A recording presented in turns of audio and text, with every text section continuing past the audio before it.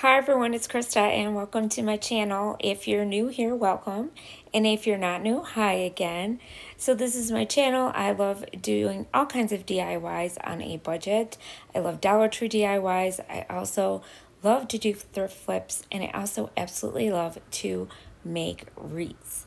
So if you like what you see here, you know what to do. Hit that red subscribe button. I would love to have you part of our little community. And also, if you like what you see, please give me a thumbs up and leave me a comment because I love to hear what you guys think. So I'm also on Instagram and Pinterest, so you could follow me on there as well. Always posting new things. I also have a wreath shop. It's called Krista's Wreath Designs. It's an Etsy shop, and that link will be down below. Today is all about Meet Me in Paris. So it's all about Paris French country decor. And our host is Monner's Market, and our co host is Indie Annie Jones. So let's get on with our first DIY. So the first DIY that I'm going to be doing for you today is actually a thrift flip. so I'm taking some of this water slide paper. I've had this for a while and I really like using it. This is a box that I got at the um, thrift store for $2.99, you guys. Isn't it pretty? I love it. And I'm going to use some of these floral picks that I've had. And I'm also um, printed out that, and I will leave you um, down below where I got these printouts because there's a, quite a few of them in this um, video. And they're all Paris related or French country. So I will have it down below. It's fairy, fairy something. I can't remember you guys, but I will have it linked down below. Sorry. So what I'm doing now is you have to spray these water slide papers with clear enamel spray, okay, and let it dry. And then you stick it in the water after you cut out, you know, the image that you want and that kind of rolls up. You leave it in there for like 30 seconds. I'm going to leave you a link to this water slide decal paper that I'm using down below as well so you could take a look at it. I absolutely love using it. I've used it quite a few times now. Now what I'm doing now is I'm using some plaster paint by Waverly and I am going to paint this because it's not quite the color that I was going for. So I wanted it to look really rustic, farmhouse, shabby chic. So um, I'm just dry, I'm not really a heavy dry brush, I guess you would call it. Um, and then I'm going in with some Antique Wax, wax by Waverly, and I'm going to dry brush, like really just dry brush, you guys. I didn't do a lot. I didn't do heavy like I did with the plaster. And I just want this to look really, really old. That's what I'm going for, okay? Um, so I did put some painter's tape around where the metal parts are on this um, because I didn't want to get those paint on there. I liked the way it looks because it looked aged. I did go over this again with some more plaster paint because I did go a little heavy in some spots, but that's the beauty of doing this. You can just keep going over and over until you get that look that you're looking for. And when I once I got to that look, I just stopped. So it's just really easy to do, you guys. And the best thing is just to make sure that you uh, make sure everything's dry before you go putting another um, a little bit more paint on of the other color. So I just kept going back and forth between the plaster and the antique wax. Now I'm taking it off of that water slide paper. The problem was is that I left it on, I left it dry out too long. I should have put it on right away, but I forgot. And so I had to spray some water down and that helped to adhere it to the um now this stuff is really easy to work with. It doesn't rip so which is really cool if you're really gentle with it.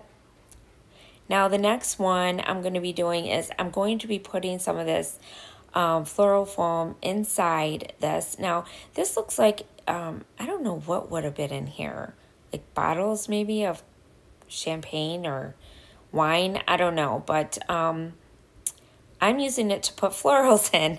So I put some of that craft foam, craft foam, um, flower foam in there, floral foam. And now I'm using these two picks that I got from Walmart. I believe they were $5 each. And I just stuck them in there, you guys. And look at how beautiful this is. I am absolutely obsessed and in love with this. I can change the um, florals out if I want. I just love it, you guys. You got to let me know what you think. So today is about Meet Me in Paris. There is going to be a playlist as well as um, the host and co-host links down below. So please go check everyone out and show them some love, guys.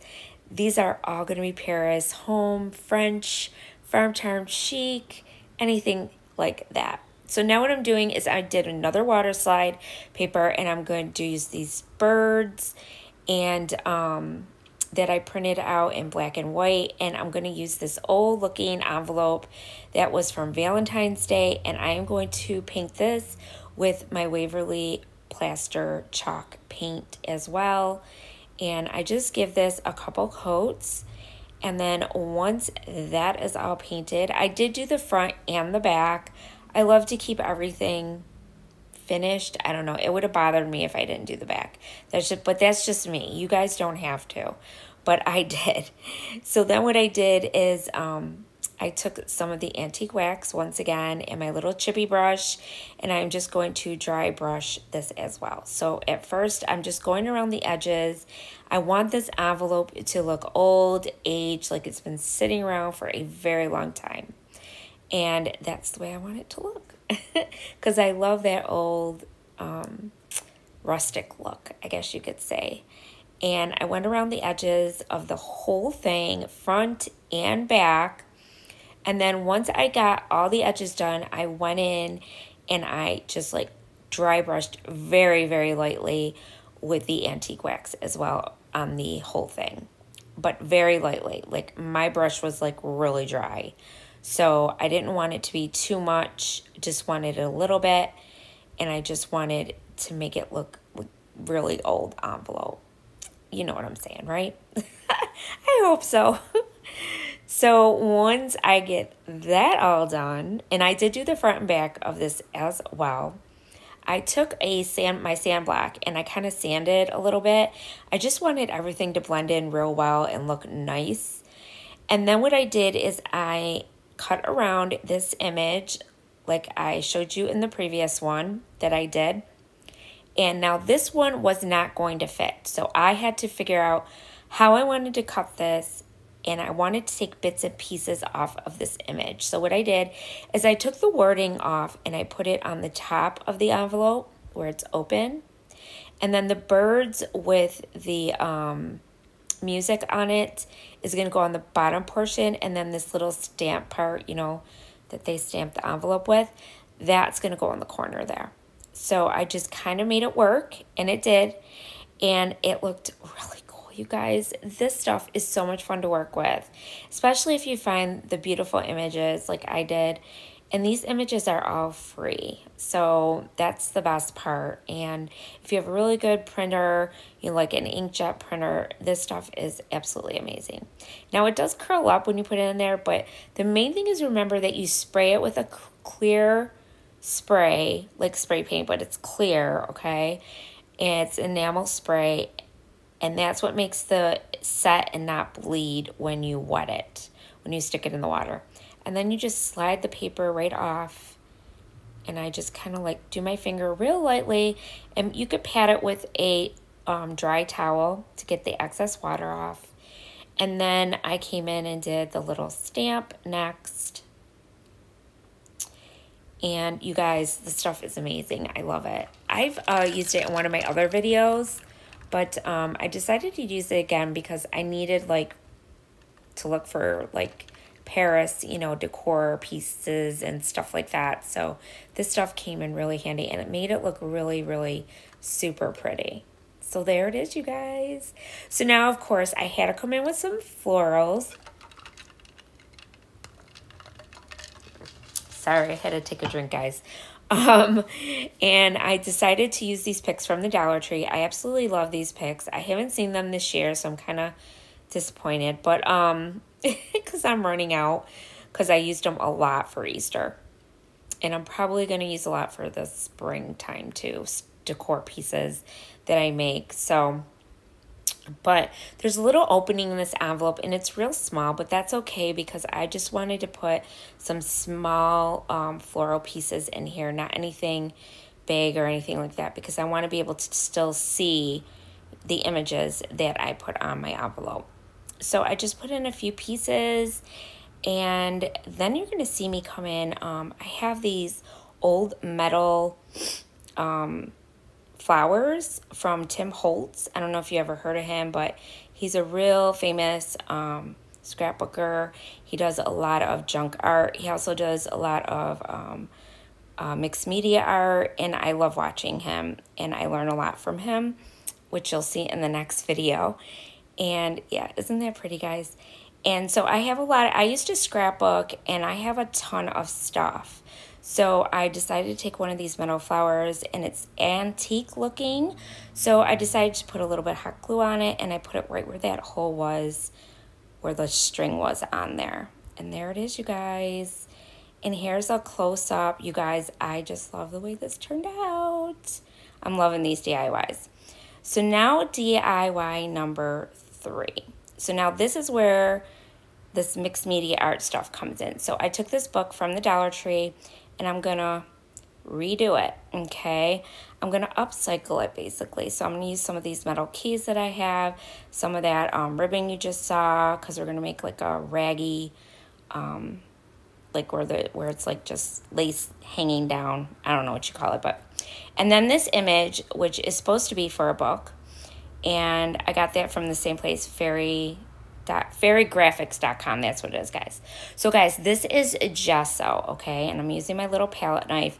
And what I'm doing is I am just, it's not gesso, I'm sorry, it's modeling paste. And what I'm doing is I am just, yep, I'm just smudging it on my book. Yep, that's what I'm doing. And you guys, this gives it texture and wait till you see what this does, okay? Now, after it dries on the side, I dry it with my heat gun, but you guys can wait for it to dry. This stuff dries pretty quick. And I'll leave a link where you can get this as well online. I get it on um, um, Amazon. And what I'm doing now is I am just doing the edges, okay? Because my image is going to go in the middle, so I'm not too worried about that. And I just want this to look really old like it's an old book, like it's been sitting around forever. And I did that on the front and the back. And once that all dried, and I just did it with my palette knife, just like you saw, really simple. And now I'm taking the plaster paint by Waverly and I am going to paint the book. So now I'm going to paint the front and the back and I am going to go over the gesso parts, you know, because they're dry, so it's okay. You can paint it. and that's what I'm going to do. And you're going to see like what type of texture this gives. It makes the book look altered basically and beautiful, gorgeous. I don't even know how to describe it. I've made these before and I haven't done it in so long and it was so much fun to make because I used to love doing stuff like this. And then I'm going to dry brush really lightly, like not a lot at all okay okay? And i'm going to go over those parts that i just that i just so that i put the modeling paste on. And i'm going to do it on the binder as well and i'm going to do it on the back. And i go over those parts a little heavy but see how you could see those textures that you know from the paste on the book and it just makes it look so cool you guys and I love doing this. I used to love doing this. And I just went really lightly then on the rest of the book. And then what I'm going to do is I'm going to cut out that image now. And same thing, I'm going to put it in water. I already did my clear enamel spray on it. I'm going to put in the water, see how it curls up. You leave it in for like 30 to 60 seconds, you guys. That's all. And then we're going to slide it and you just push it down a little bit and then you pull the paper out from underneath. And you can see how I could keep lifting it up and playing with it. That's what I love about this stuff. And there you go, you guys. And now I'm going to take all that raggedy ribbon and I'm gonna make this rag like um, tassel. Um, it's not gonna be a bow. And I'm gonna use all these pieces. Now I've had this ribbon like forever. Um, you usually get it in the scrapbooking section as well, this type of ribbon. Um, it comes in rolls like this. And they usually have it. I don't know if they still do because I haven't been in that section in a long time. But um, yeah, and I just used all these different ones. And we're going to make like a rag, like a raggy, it's going to be rags. It's going to look like rags. Yeah, there you go. Not really rags, but you know what I mean. And all I did was tie them together with a little um, elastic um, rubber band. And now what I'm going to do is I'm going to put that little key on, the little key that I showed you guys earlier. And I am going to glue this down to my book in the corner here next to my binder. Okay. And now I'm going to take some of these flowers by um, Paper Studio. And you could get these in the scrapbooking section as well. And what I did, I've had these for a long time too when I scrapbooked. And what I'm going to do is I'm just going to cut these little rosebuds down. And I'm going to stick those on the top part where I glued um, that little tassel down of all those little lace lacy ribbons that I made. And I'm going to put one on each side. And these all came in a packet together, okay? This is how they sell them in that area. If you've ever been down that aisle, I don't know, but this is how they sell them. Um, you could get the whole kit of flowers together. And now I'm going to put like these other little pieces that were in there. And I'm going to stick those on top. And I'm going to glue that down on my little book. And look at how beautiful this is, you guys. It's just gorgeous. I love it. And it's perfect for spring on your table. And then I decided to take one of these leaves that were on the inside. And it's just paper. Um, it's just a paper leaf. And all I did was bring it down the side of the binder of my book. And I just put a little bit of glue underneath it just to hold it down. And that's it. Look at that. Oh, it's gorgeous, isn't it? Oh my God, you guys, I love it. And then I took one of these butterflies that are really pretty that you can also get in that section as well in the craft store, Hobby Lobby. And I stuck a little butterfly in the corner because I just had to do it. And look at that. Guys, this is so gorgeous. Look at it. Ah, I absolutely love it. You guys gotta let me know what you think. So now on to DIY number four. So this one is kind of like I'm doing a whole bunch together. Okay, so it's kind of three DIYs in one.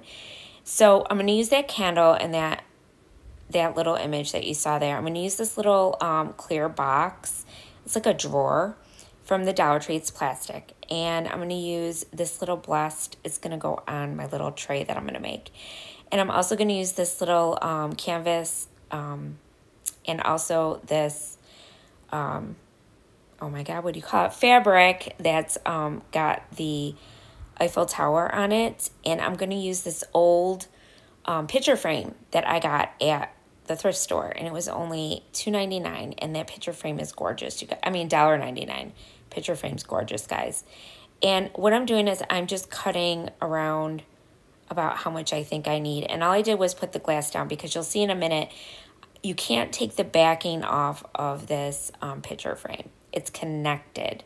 Okay, so it just folds down. So what I did is I folded it down and that's why I used the glass to kind of trace where I needed to cut my fabric. And now I'm going to use some Mod Podge and I'm just going to make sure I put a really good coat of this on the backing of that um, picture frame. And then I'm going to um, stick down my beautiful, and I got this um, fabric from Hobby Lobby when it was like, they always have 30% off. And that's when I got a piece of it. So there it is. And I'm just going to make sure I get it down really good and there's no bubbles.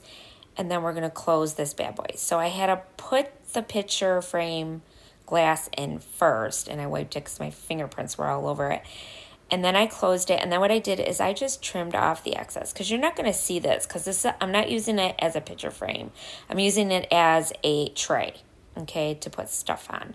So I didn't care what the bottom looked like. So there it is. Isn't that pretty? Oh my god you guys. I love it. So there's that. Now DIY 5 and I'm going to say 6 okay? This is what we're going to put on top of that tray. So what I'm going to do here is I'm going to take the plastic wrapping off of this little plastic drawer and I'm going to take that canvas that says the Paris perfume on it and I'm just going to use the Paris part of it. So what I did is use my rotary cutter And I just figured it was just easier to cut it this way instead of me trying to fight with getting those staples out of the back of this canvas. So I just did that. It was much simpler. And then what I did is I just used my scissors to help cut it because I don't know why it just wasn't cutting right. I think I need a new rotary cutter. And then what I did is I just traced around that perfume, um, that perfume image. Oh my goodness, guys, I'm like so tired. Sorry. and I'm going to put that on the top of my drawer. I'm going to put it though facing upwards where like that little piece is sticking up. And then I'm going to take some of these really pretty beads that you get at the Dollar Tree. It's a string of pearls and little gems on it. And I know you guys see them in the sticker section all the time. Sometimes they have them in the floral section too. And then what I did is I just wrapped it around the little knob part, okay? Because I'm going to face this this way. It's going to look like a little perfume bottle only we're going to put something else in it. And look at how pretty that is. And then I decided to see that's where my image is going to go. So then I decided to take it and now I'm going to, and this stuff is really sticky, you guys. So you don't have to worry about glue or anything. And then I took it and I brought it around the whole bottom part of this as well. So I don't know why I cut it. I could have kept going. But anyway, so then I kept going around. Then I figured, oh yeah, okay, I can go around the whole thing. Duh. And and then I just cut it when I got to the end and made sure it looked all nice and cohesive and went together. And then what I did is I put Mod Podge down on the on this plastic and I shouldn't have did that. I don't know why I did. But anyways, I'm like, wait a minute this isn't going to stick right. So then I remembered, oh yeah, I should put the Mod Podge on the back of the canvas. And that's what I did. So I just took it and I uh, put a little Mod Podge down and I used my little sponge and just spread it around. And then I put it on top like so. And there is my little Paris bejeweled box. That is so cute. And it looks like a little perfume box. But what I did is I took these pearls that I had and I put them inside because I thought they were pretty inside there. And then the drawer wouldn't go back in. And there you go. It went back in. And there it is, you guys. So that's going to go on top of the tray.